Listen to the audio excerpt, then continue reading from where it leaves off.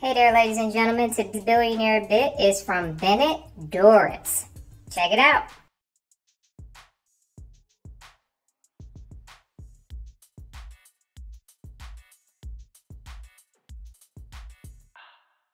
I know that's dope, right? And he's a licensed pilot. Super cool. Say it with me now. And back to our regularly scheduled program. Okay.